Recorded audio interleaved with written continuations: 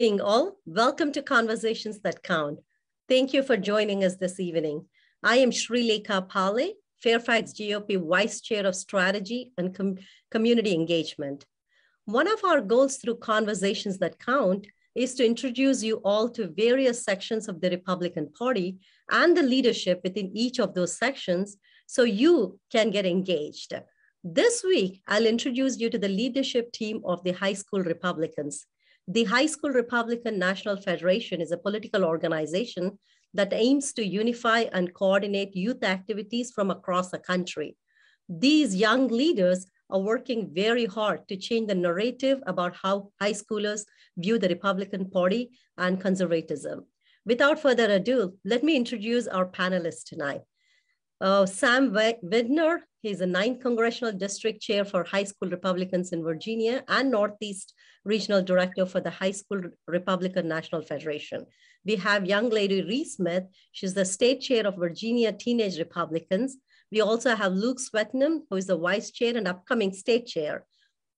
All of you guys, welcome to Conversations That Count. It's amazing to have young leaders in the conservative circles like this. And I'm thankful that you took this opportunity to join our show.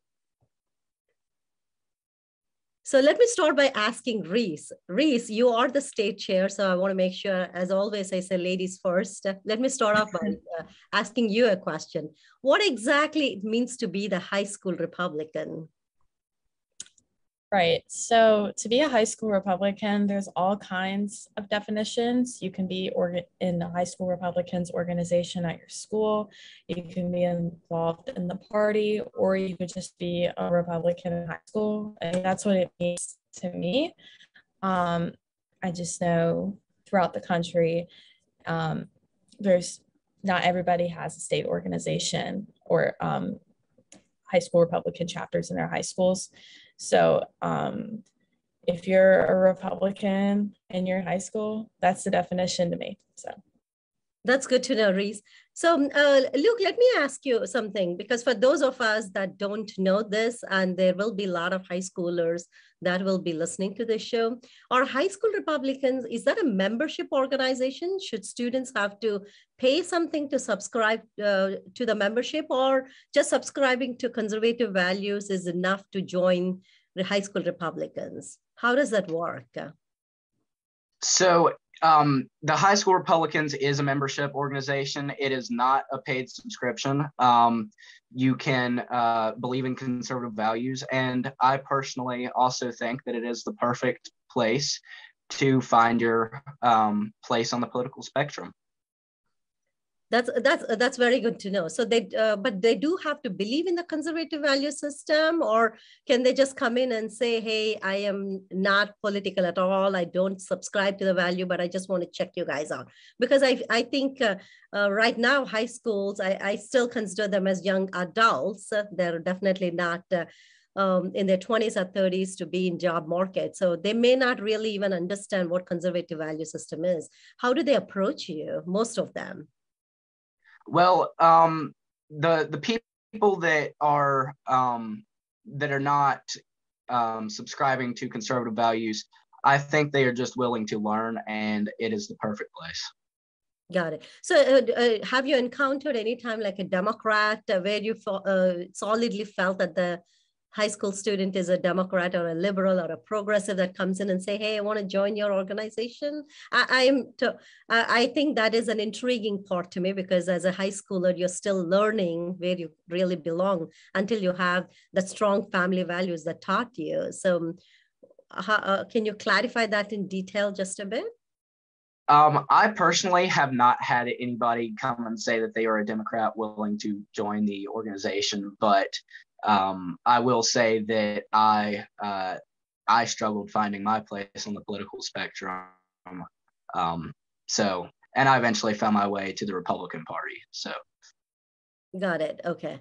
Thank you for clarifying that. So Sam, let me ask you a question. You're a ninth uh, congressional district chair. So does each district, because I live in 11th district, I used to live in 10th district, but uh, when I lived in different districts, I kind of never knew there is a high school chair.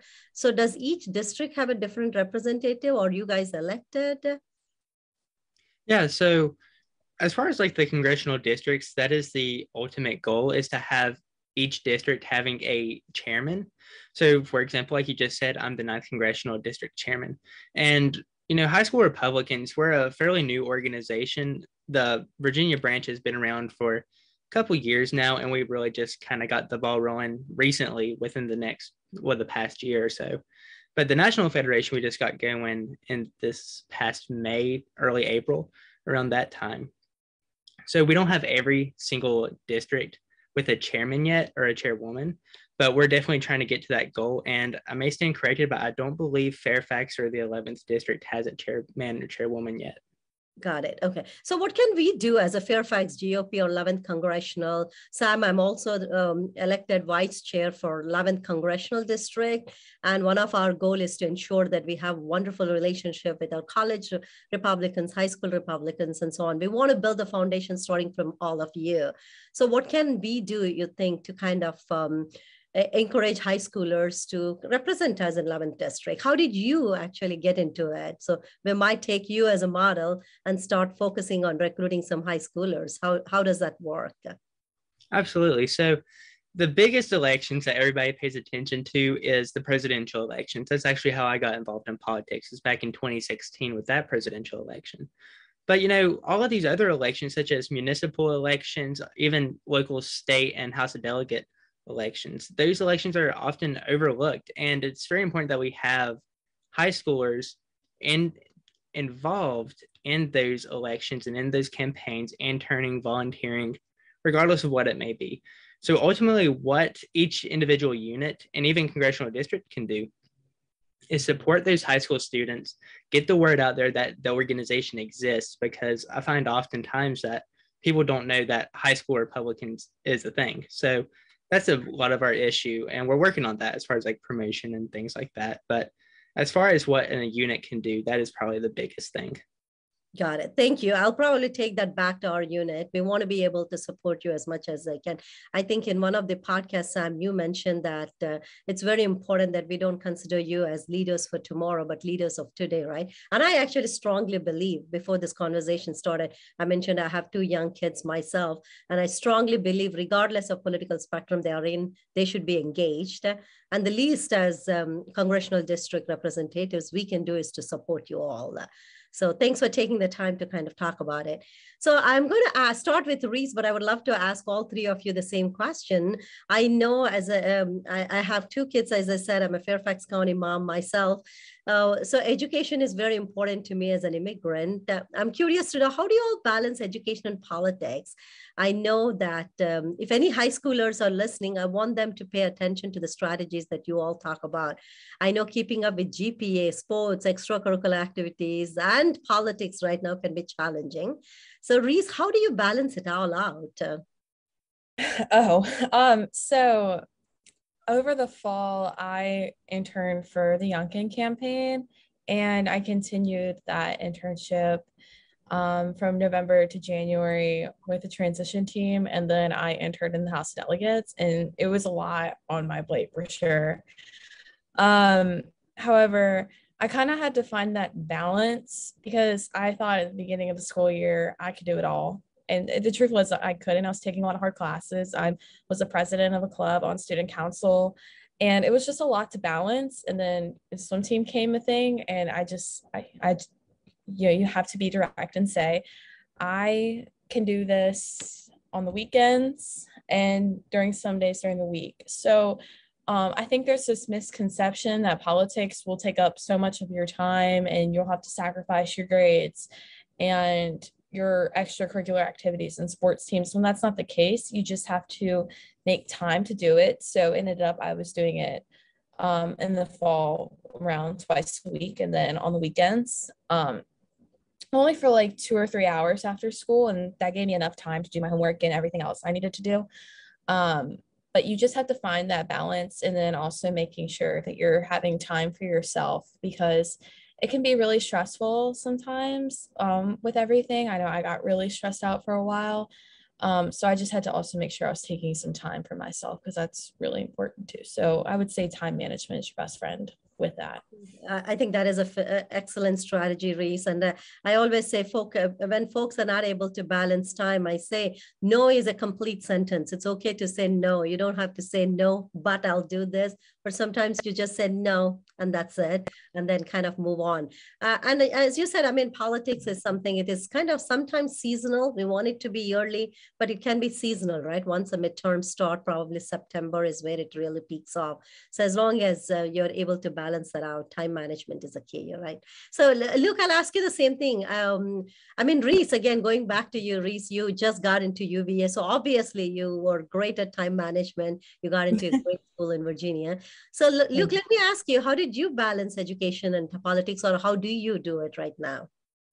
I would say for sure time management. Uh, I know during the school year, um, it's it's difficult, and I think the best strategy for that is when you're in your classes, don't focus on politics. Focus on the teacher. Focus on studying, and focus on your on your test, and um, make some time to study at home. And I guess leave politics for the rest of it, and then um, I always try to prioritize things. So uh, prioritizing is also one of your best friends along with time management. Got it. Prioritization. Uh, no, that is a key. You're absolutely right. Sam, I'll ask you the same question. I think this is where most kids struggle, and I want them to kind of know from somebody that is doing it for a while. You have been in politics what, since you were 14, 15, if I kind of went back to your track record. Yeah, and you know, as Reece and Luke said, time management really plays a big role into that. And kind of going off of what Reece said again, limiting it down to a couple days a week. For example, of course, you've mentioned my podcast sometimes.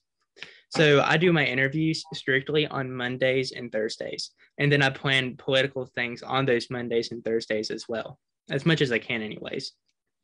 So that is a real big help with me personally but it also doesn't help that all of my extracurricular stuff is strictly political so you can take that for what it is i guess it's a good thing or a bad thing but that's really the biggest thing is time management. Yeah.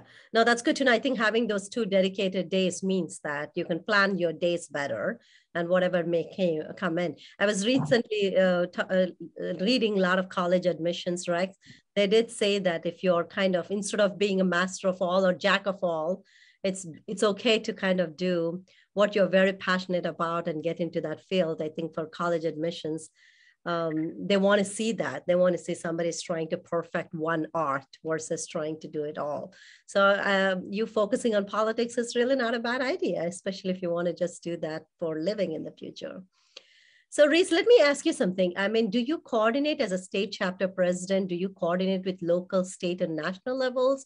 I know this is a fairly a newer organization, but what is the structure? Do you coordinate with them to advance the ideals of the Republican Party so you can shape the future leaders of America? How do you um, talk to younger um, younger Republicans? Or I know that you will be moving on to college and somebody else is going to take on your role. So how do you do that mentorship role? Yeah, so um, the way that I do it is, um, of course, we have our congressional chairs and whatnot. Um, however, it normally just starts with, um, you know, we have like different people around the state that kind of help us out, like advisors, I guess you would call them. And they'll say, hey, like, uh, know, Roanoke County has a kid that's interested and is in ninth grade, and wants to get involved. Can you talk to them?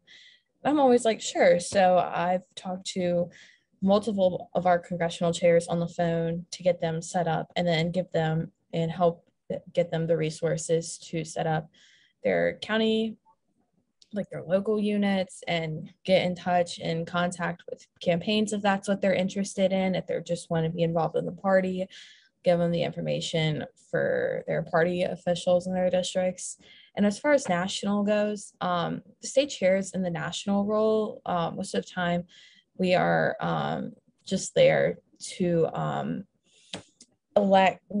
What we've done is we've elected our national chair and our national vice chair, our national board, and then we also kind of provide insight on what we are doing in our states to help them nationally to get um, the other states chartered. Um, I, don't know how many states we have chartered right now nationally. Um, Sam probably would know that better than I do. But um, we're also there just to help give them some insight since they're new. Um, but also they help us out too if we need help. But um, yeah, I would just say like just talking to kids and um, giving them the resources is kind of the biggest thing we can do from a state level and then help them get involved locally first is what I'm mostly here to do as state chair. So, uh, Reece, as you're doing that, have you noticed that since Biden policies are failing so miserably right now, you're getting more of those calls from Roanoke and Fairfax and everyone else saying that they want to be part of it? Or you're like, nah, high schoolers probably are not paying attention still, so I'm not getting any more calls? Yes, sorry. Um, we have been getting a lot more um, membership requests lately, or not requests, but more people wanting to be members of the high school Republicans lately. Um, and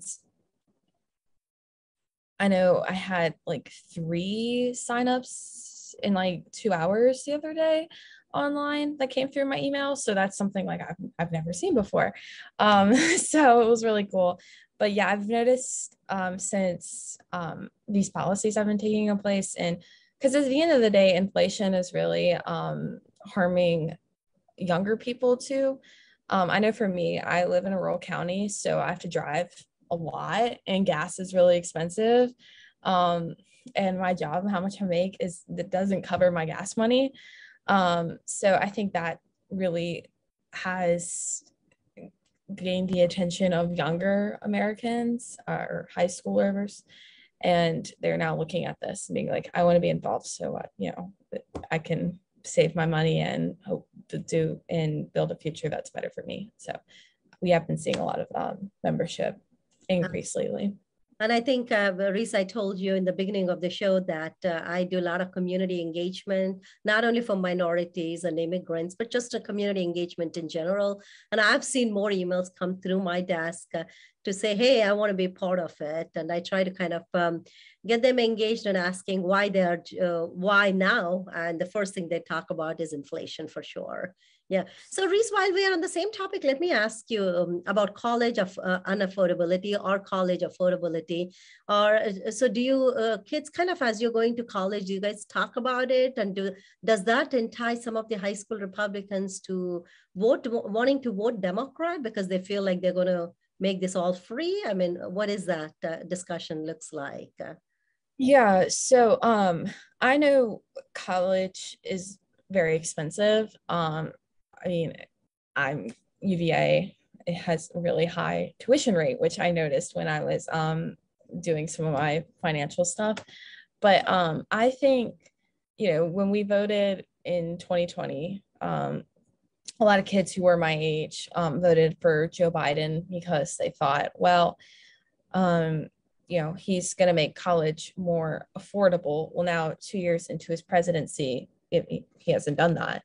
And that's just something I think Democrats run off of to get the votes of younger people. But I think our generation is kind of waking up and realizing that, you know, college is going to be expensive and the government can't pay for it all. I think they're waking up and realizing it's the same boat as healthcare too, where you can't, you really just can't pay for everybody's healthcare either. And I think they're waking up and starting to realize this. And they're um, realizing that okay. um, you can't make college free. So yeah, absolutely. Medicare for all doesn't work. College education or college tuition paying by government doesn't work for all by any means.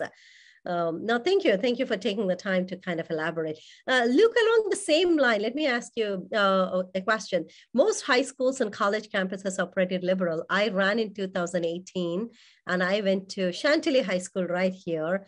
And Chantilly High School Republican Club, there were about six boys and two young girls that attended my meeting. And they said since uh, President Trump got elected, they had they they didn't have uh, uh, they just were not courageous enough to even hold a meeting because they didn't want to be called racist, which was uh, very sad for me to hear because the kids were, I mean, they're just kids. I mean, they were 16, just trying to embrace um, the conservative values. Um, so uh, it, it, was just very heart wrenching for me to hear kids going through that kind of emotional turmoil just to hold a meeting in the fear of being called uh, racist. And I did go to ask them saying that, do you feel like, is this your fellow students or teachers or administrators who are you worried about? And they were just very skeptical about talking. So my question to you is, um, when you're running these high school clubs, do you get any visible support from your fellow students or administrators or teachers, or um, what's the sentiment like uh, among uh, your peers? Well, um, thank you. Um, so I have definitely uh, been called a Nazi and a racist before, so I understand that. Um, I would say when it comes to teachers and administration, we um, we get support for what we're trying to do. Um, of course, they try to stay nonpartisan uh, because that can um, end get them ending up losing their jobs. So we don't want that, of course. But I think we definitely get support from them in our movement to get teenagers civically engaged. And students, for at least at my school, um, we definitely get some support. Uh, I've seen many, many, many people with Trump hats on, and I mean, they know that we're there. There's still some, um, some divide on whether they should join join a political organization or not because sometimes politics is boring and I even face that. But yeah, we definitely uh, get both ways of the of the divide. Okay, so basically you just got called names, lame, right? Which is uh, which is quite lame without any explanation. I wouldn't say that I've gotten called a racist and a Nazi from uh, high schoolers or administration, more outside of that. But yeah, I've yeah. Got it. Okay. But you know, you're not. you're only right. trying to preserve your conservative values. Sam, let me uh, let me talk about some con- uh, content. I'm very involved in my kids' school myself. I was um, my middle school PTA president until my daughter is done with middle school. Uh, I know there's a lot of um, uh, focus on teaching content, uh, sexualization of um, content and stuff. So if you encounter that when you're um, doing your um, curriculum, how do you counteract, uh, counteract that kind of teaching content in schools? Let's say if you don't agree with the CRT curriculum, do you talk to your teachers or you're like, okay, that's not something that I deal with as part of high school Republicans, or is that too much for high school Republicans to take on? Yeah, so this is definitely something that affects the whole state and, of course, a nationwide issue as well. And we've seen executive orders that the governor put out on his first day in office against these divisive concepts being taught in school. But, you know, as you said, uh, sexualizing students, there are numerous bills that have went through the General Assembly. We've seen one uh, back in 2020. It was a model policies for transgender students, and it's exactly as it sounds. It lets boys and girls bathrooms, girls and boys bathrooms, so on and so on. And then, of course, we have all these liberals getting mad that critical race theory was banned, but it doesn't make any sense because why would you get mad about something that doesn't exist, especially if it's being banned? But ultimately, in the classroom, I, w- I would tell high school students to not be afraid to speak up and to counteract their teacher on those ideologies. Because what CRT ultimately does is it teaches that there is a significant difference between races. It teaches kids to see color. And, you know, what a lot of us think is that we should be colorblind. We should treat people the same, regardless of skin color, regardless of ethnicity, so on and so on. But CRT does the exact opposite. It teaches that there is a difference and that you need to be treated differently yeah.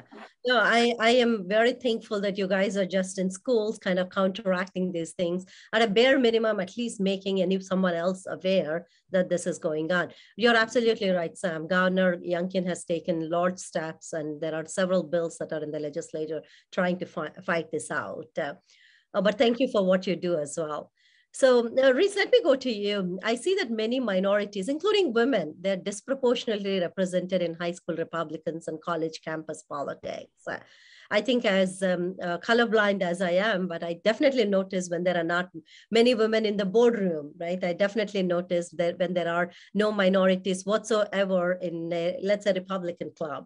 I think it's just coming from a different lens of being a minority, right? That just it just kind of dawns on me that what I, I don't see a colored woman around here. Is that something you take a note of? If so, are you doing anything in specific as a chairperson to kind of bring more women or to more minorities into our tent?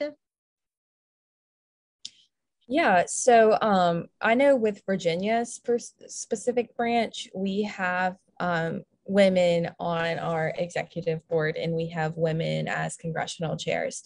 So we in Virginia are pretty split. However, I've seen other states where they have no women or any minorities on their executive board.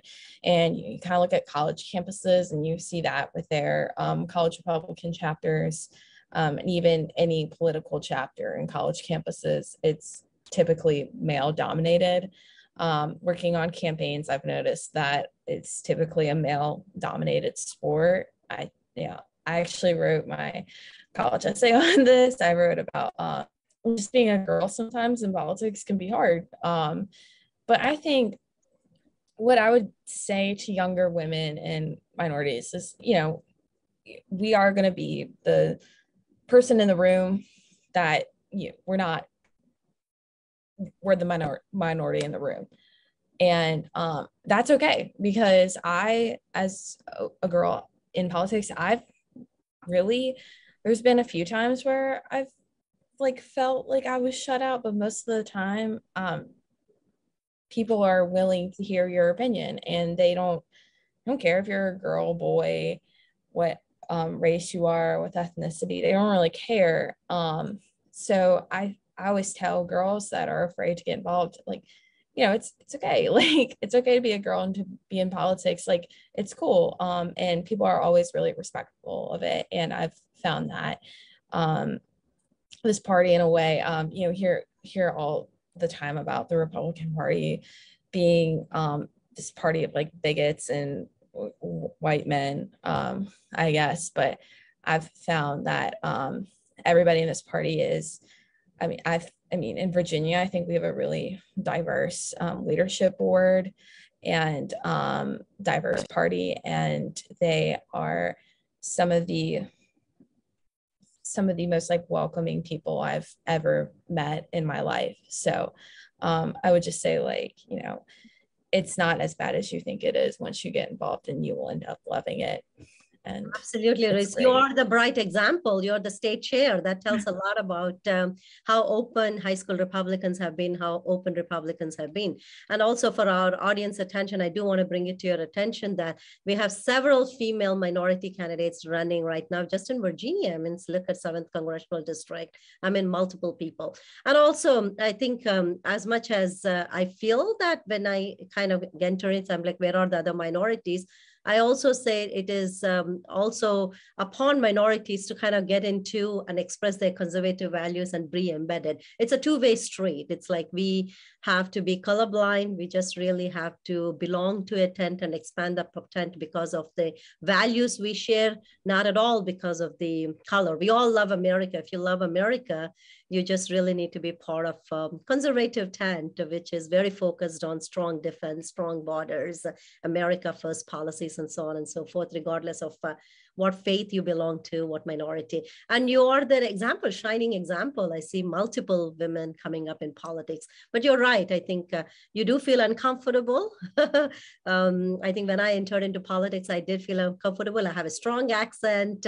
I don't look like a typical politician or political operative. But I think once you kind of get into it, you, you're surprised to see how embracing, how loving, and how welcoming this party has become my second home. So thank you for just leading all the brave women out there, Reece. so Luke, let me let me go to you. Um, let me go to an extent to say if today's young Republican leaders like you do not act, there is no assurance of a strong Republican Party of the future. Like Reece said, there is a perception out there that this is all white old men. Even though it's still a perception, there is some truth to it. So, um, what do you? What are your thoughts on it? Is that something that resonates with you? Is that something that you use at a talking point with your fellow young young Republican leaders to say, guys, if we do not act, there is no uh, assurance of a strong Republican Party of the future. So let's do something. Is that something that you guys talk about? Um, yes, it is, and I I, I completely agreement agree that it is very important to um, get the future of the American government and the Virginian government involved in politics because it is our generation that is going to care for the nation one day. They're going to be making decisions for uh, the nation or the Commonwealth one day. And it is very important that we act now, get involved as soon as we can to understand more of the system and not have one of those learning on the job situations. Um, so, yeah. So, you guys talk about that frequently? Yes. Oh, that's good because I think the more you talk about it, the more something will change, right? So, thank you. Uh, Sam, um, I have been paying attention to the lot of activities of you all do. Occasionally, I try to compare and contrast with high school Democrats also to kind of get an understanding of each structure. Tell me if I'm wrong. I realize that high school Republicans don't have much of a nationwide support system no nationwide advocacy or no nationwide name recognition, and even funding for that matter. I, I noticed that we have about 16 functioning state federation. Reece did say that you probably know the number well. Um, whereas um, uh, high school Democrats are everywhere, right? So, um, uh, I mean, obviously that can't be the fault of you guys because you guys, um, barely being what you guys are, uh, with the with the college stress and stuff you are doing your best. But what can we as gop units do to change that? Even nationwide statewide what can we do to kind of make sure we support you all better? Yeah so as you mentioned before the number of state federations it is right there around 16 maybe 17 at this point but we are working really hard to get that number up and we don't have a significant amount of support on a federal level, but we are working with the RNC with their youth engagement director. We just appointed the YR national chair as our first ever national advisor, Rick Lowry. So that's really exciting. We're getting a lot of good progress. We just really come into existence, as I mentioned at the beginning of the episode, about early May, uh, early April, somewhere around that time. But we're getting a WinRed account set up for donations we're working out some tax codes, revenue codes, so on and so on. But ultimately, as far as a local party, as I mentioned, just having that support, promoting the organization, promoting the cause, recognizing that there is an issue in America and that we need to get as many high scores involved with conservative and Republican politics as possible. Yeah. With me personally, uh, being Northeast Regional Director, I've had the opportunity to work with the state chairs in Connecticut, uh, Vermont, West Virginia, and then we're working with Pennsylvania as well. And we have their full support as an organization. So hopefully, some more recognition will be coming in on a federal level very soon. But yeah, as I said, as a local level, just that promotion and pushing the idea to get high scores involved is what we need the most. Sam, I think you articulated it very well. If GOP chairs are watching, I think one thing that I say is try to see what funds you can do as part of budget, right? I mean, allocate the budget to grow the party with youth engagement. I mean, I used to be the president of a local Hindu temple. The first thing that I uh, did was to have a line item that says youth engagement. Um, and then allocate like 10 grand, whatever we can allocate based on the donations that we receive. That way we know those funds should just go to youth engagement. It's a dedicated funds. Uh, because without funds, there is only so much you can do. Uh, and that's where everything kind of falls apart. You can only do so many free events, uh, but you just really have to have that kind of funds. Um, hopefully, I'll take the message out to multiple GOP chairs as my roles continue to expand. Um, Reece, let me ask you about um, what would it take to grow a chapter in each high school in the entire country as a state chair? You might uh, have a little more insight on it. And how do you make it fun and pal- palatable to join high school Republicans? And I think my last question to that, and it's a loaded question, in high schools, is it stigma to call yourself a nationalist? Um, eh, and uh, why is it that we have a hard time promoting patriotism in high schools? Uh, I know that's kind of a lot. Just break it down, whatever you can. And I'm sure Luke will pick it up after that. Yeah. So um, with the first part, how long it would take and what we'd have to do, there'd be a lot of work to do. Um, because I think to start a Democrat chapter is a lot different than starting a Republican chapter because um, Democrat kids tend to be more accepted at school. Um, and um, I mean, it also depends on where you're from, but typically nobody has a problem with high school Democrats. High school Republicans could be a different story though, um, just because um, Republicans are so ousted all the time. Um, and uh, for some reason, we're seen as these like terrible people. So I think that can be scary for kids our age, especially with college admissions and um, anything like, like trying to get into an honor society, maybe uh, grades, anything like that, um, they think it can be reflective onto themselves um, if they were to join these organizations, which I would say is not true. Um, I wrote about, I mean, I fully put on my college application I was a Republican and I got into school. Um, so I think that it depends. So we have to get rid of the stigma first that all these Republicans are terrible people, especially with kids my age, because my age group tends to, or our age group tends to see it that way.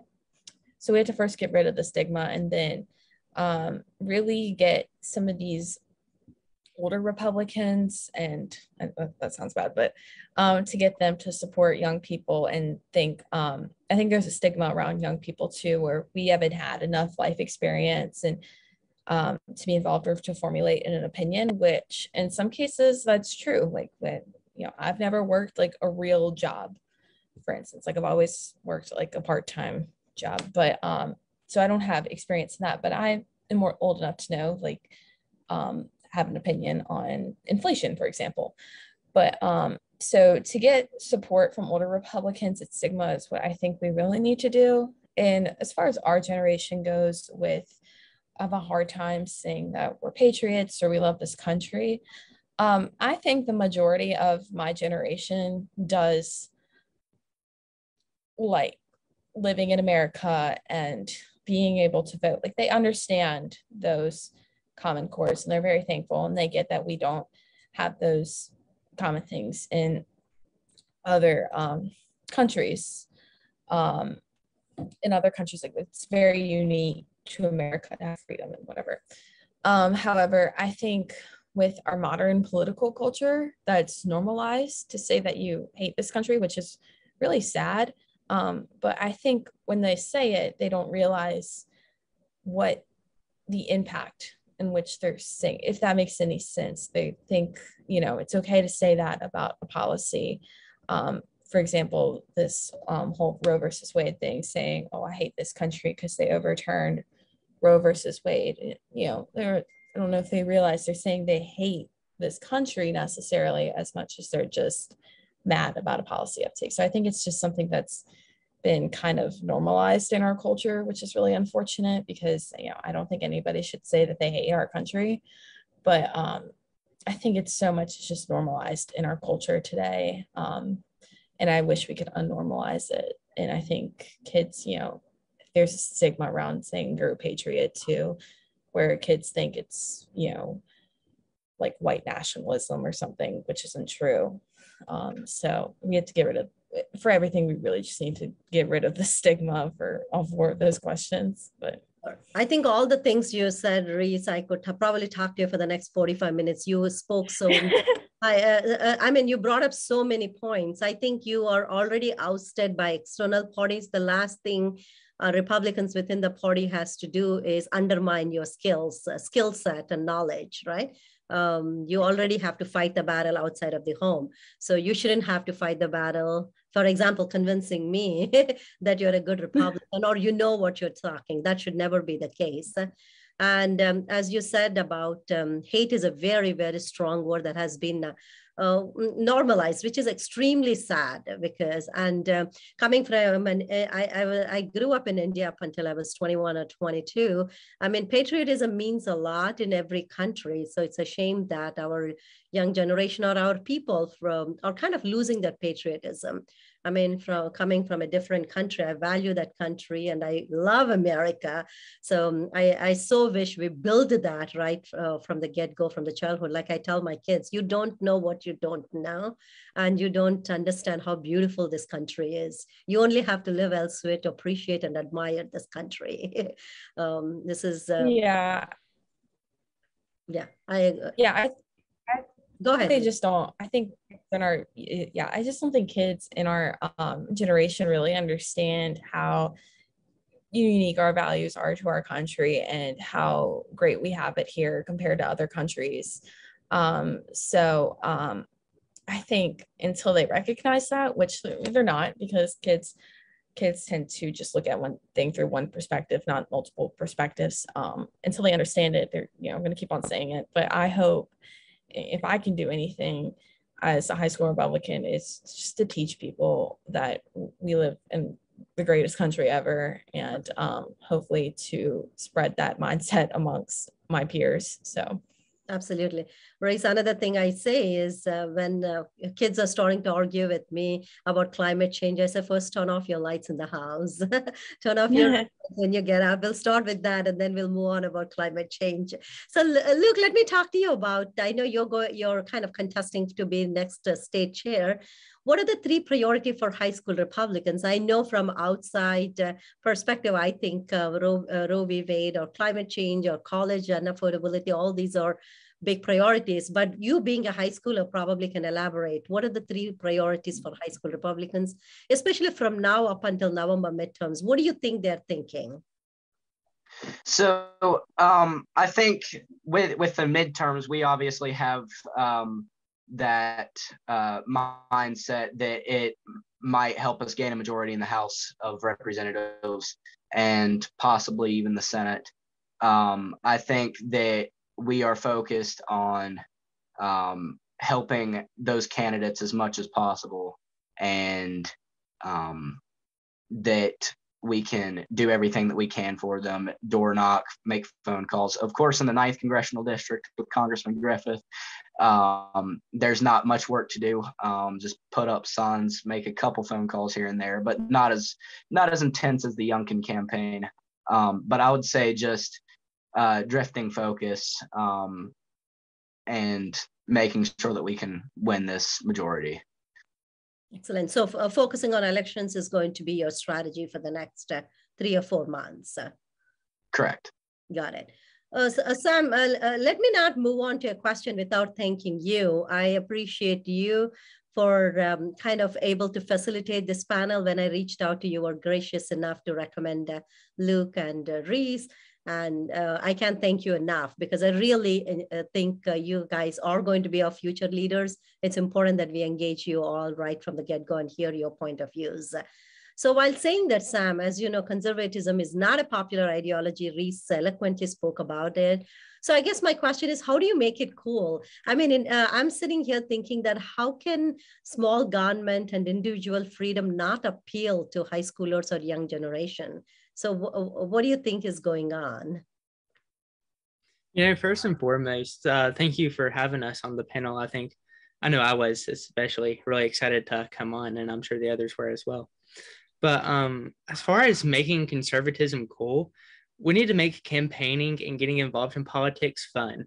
You know, there's this idea that politics is boring, people shouldn't get into it. I know that I get grief for being as involved as I am with it just within my school alone. But I truly enjoy doing things such as door knocking, uh, putting up yard signs, making phone calls. You know, those things that I enjoy. And when you're doing it with other people, especially other high schoolers, it tends to be even more fun. But we need to get over this ideology that the Democrat Party is spreading, and we need to confront that because it's pushing ultimately high scores away from the Republican Party. You know, there's, I'm sure uh, we get this all the time minorities and women, there's the idea that they have to be Democrats, and there's something wrong with it if they are not Democrats. but we need to expose that idea and we need to bring to light that there are many minorities and many women who are Republicans. And I think that's kind of where it starts as far as bringing coolness, I guess you would say, to the Republican Party and to ideas of conservatism. Absolutely, Sam. Very, very well said, especially minorities and women. We just really need to take away that stigma that they have to be um, Democrats. And one thing that I say is uh, you don't want to give away vote all the time to one party because they start taking you for granted and they have they haven't done much for minorities i can as a minority i can tell you that they just took us for granted because they think we always vote uh, what what vote for them um, so um, while you're talking about females reece i'm sure you as a female leader you encountered a question about roe v. Wade. How do you navigate that especially now? I mean you are uh, a generation where you actually saw that happen under your watch. I mean you you're you're part of that movement where um, you have to take questions about roe v. Wade. So how do you uh, kind of encounter those questions? What's your typical response to them yeah so as a woman i you know at the end of the day roe versus wade is impacting women i mean not really men um, but how I navigate that question, it is Roe versus Wade is a very sensitive topic, obviously. Um, it's not something where most people are hot and cold on it, you know, one side versus the other side. It's a lot of it's topic mostly where people are kind of all over the spectrum on it. Um, and how I navigate it when people ask me questions is I always say first, you know, you're allowed to have your opinion on Roe versus Wade. I have my opinion. Um, but I just kind of tell them my opinion.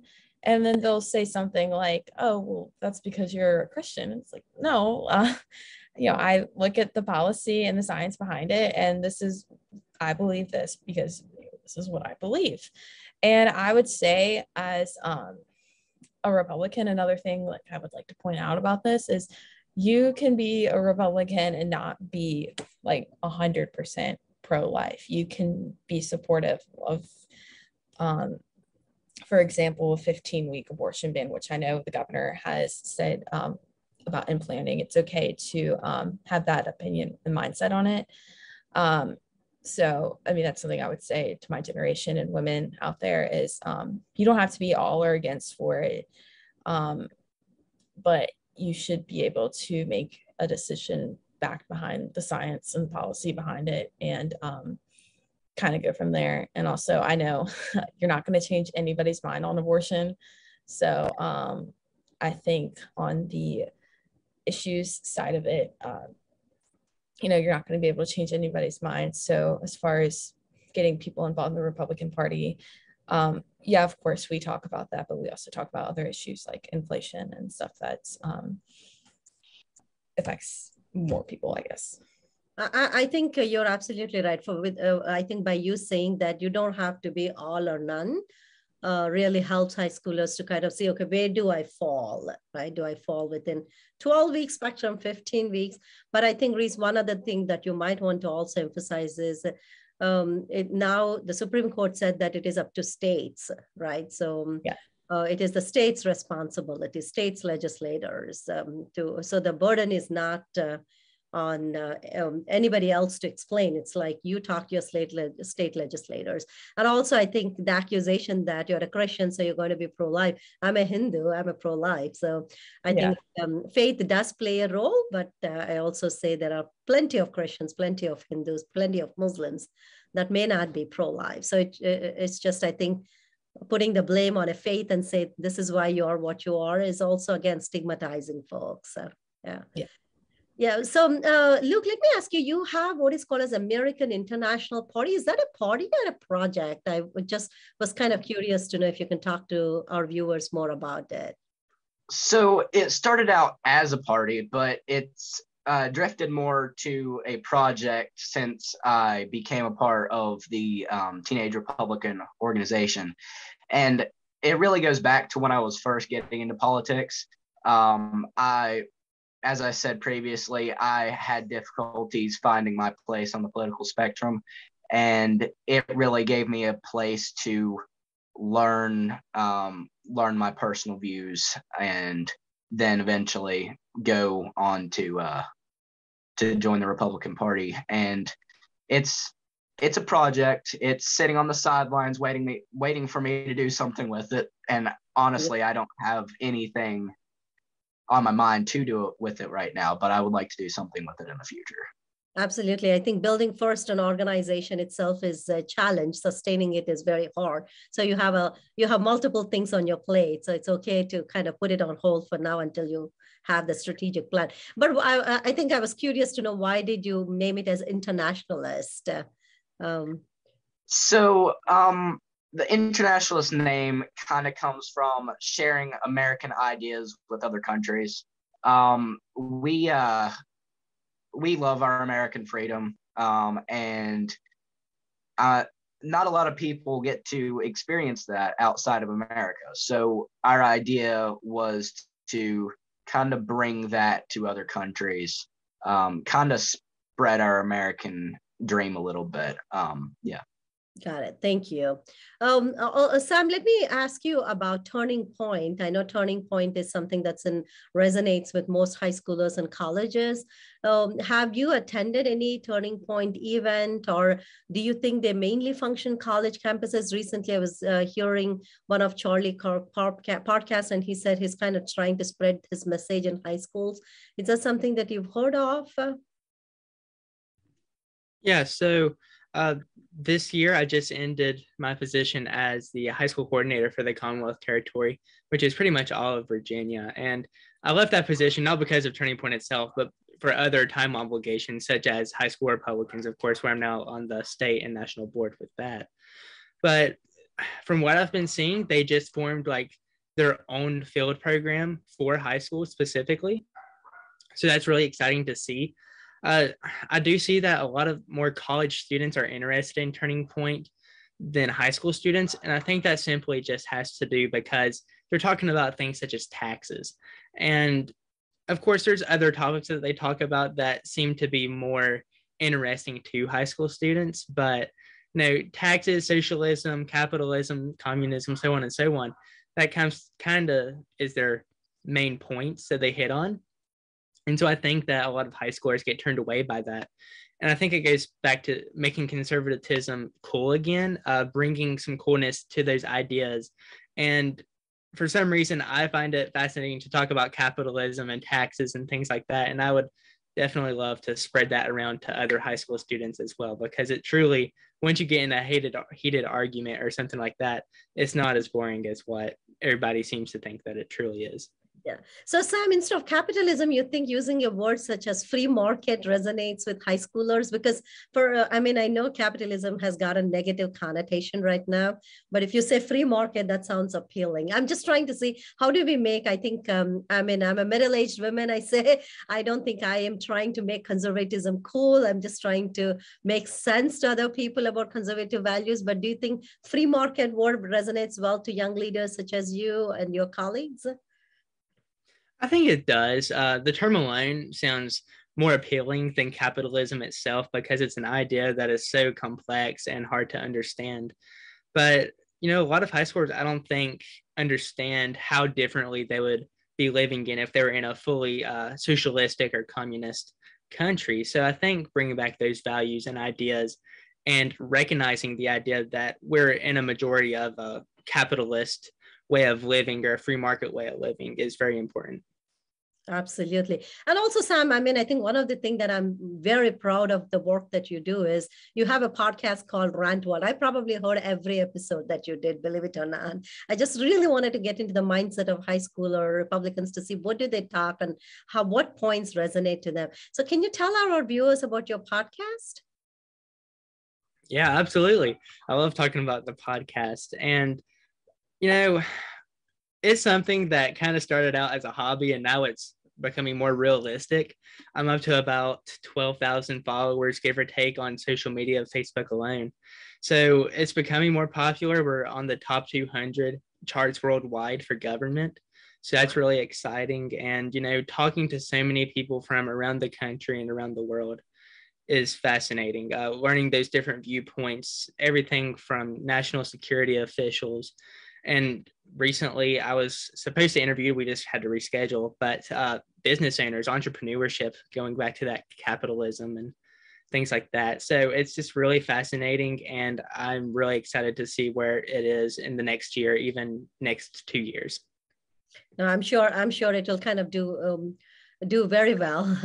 Uh, I've heard of it. I think the content is extremely rich. The guests that you have really know what they're talking about. So it's just very interesting. For those of you that have not heard, it's on Spotify too, right, uh, Sam? I think that's where I heard it's called as Rant World. Sounds perfect. And I've also seen Luke do a Facebook Live here and there, just talking about uh, Republican Party and President Trump and so on and so forth. It's just very, very nice to see. Reece, you also attended Sorensen Institute of Political Leadership. You interned at State Capitol um, under Governor Youngkins, as you said, uh, and also under Delegate Robinson. Um, that's quite a bit of political experience for your age. Any, um, uh, I mean, we are in the last few minutes. I was wondering if you have any learning lessons from these experiences that you want to share with our audience. Yeah, of course. Uh, they're all so different from each other. Um, Sorensen, uh, Sam was actually in my class, funny enough. Um, but the Sorensen Institute was mostly about policy, and um, they are a bipartisan leadership training institute from the University of Virginia.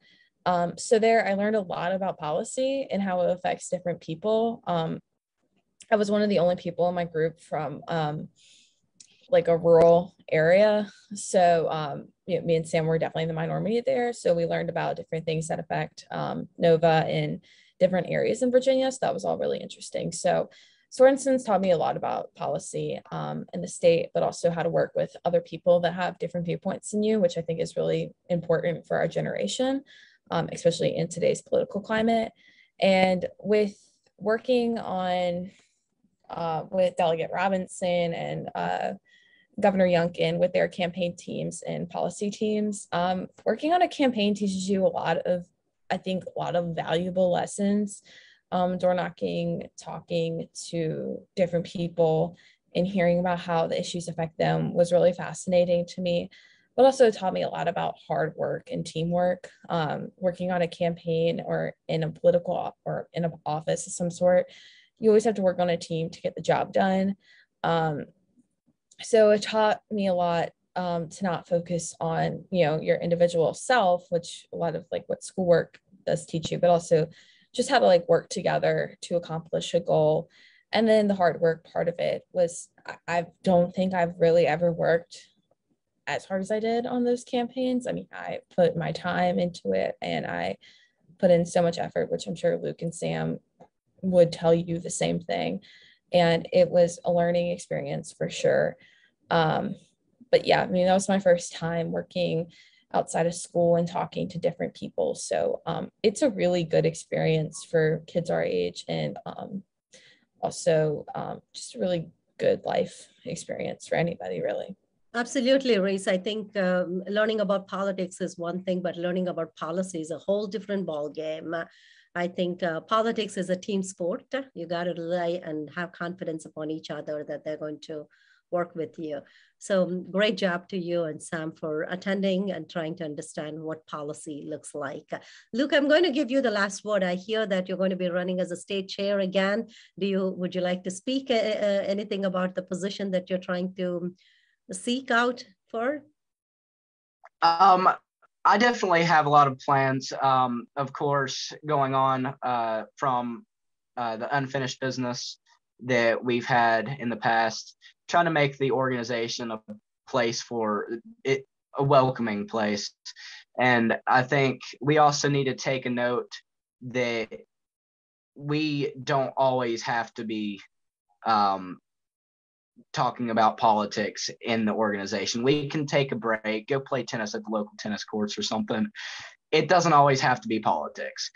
Um, so, for uh, moving forward, I would definitely say that we need to get people engaged outside of politics within an organization as well. So I think that'll definitely keep people in the organization and get more people in the organization. So look wise words very very well said we can just sometimes chill out and talk to people like regular talks we don't really always have to talk about politics. Sometimes I think that's what brings us closer, and the other people will start realizing how normal we are, how much we are like that, right? We're not always that political buff. Guys, I can't thank you enough. We've had enough engagement on Facebook Live. I've had two beautiful comments Diana uh, Yebor, one of our viewers, said the young Republicans are brave, they think outside the box, are creative, and are constantly coming up with uh, innovative ideas, a fresh blood for the nation, which is such a huge compliment for young leaders such as you. We have another viewer, Laura Hall, talking about, she disagrees that older Republicans have a feel of stigma. She, in fact, thinks our youth are going to be the driving force to lift this country. And I totally agree with Laura. I think with you leaders such as you all, we have no doubt that you'll continue to uh, keep the courageous spirit after you even you enter into college. I can only see each of you running for congressional offices in the future or running campaigns, huge campaigns on the nation, uh, on the uh, national uh, spectrum too.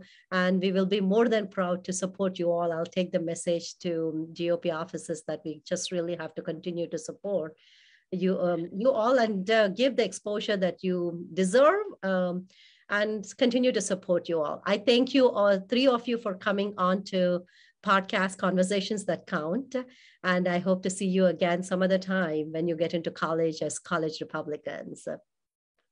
So viewers, please share this video far and wide. Our young budding leaders, uh, uh, Luke Reece and uh, Sam needs our support.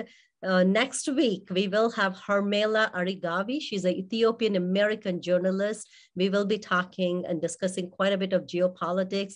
Many Ethiopian Americans are quite frustrated with Biden administration policies towards the democratically elected Ethiopian government and its people. We will be having this geopolitical discussion on Friday, August 5th at 5.30 p.m. Hope you all tune in. Before I give uh, before I tune out, I really, really want to emphasize that you please share the video. Our young leaders around the party needs to see this young wise men and women talking about politics. Thank you all for joining once again. God bless you all and God bless America.